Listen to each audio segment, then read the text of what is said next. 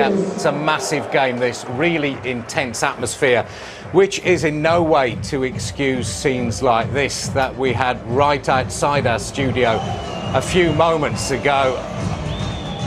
Horrible sight. I hate looking at this stuff. Montenegrin fans fighting amongst each other. I should tell you, no English fans involved at all.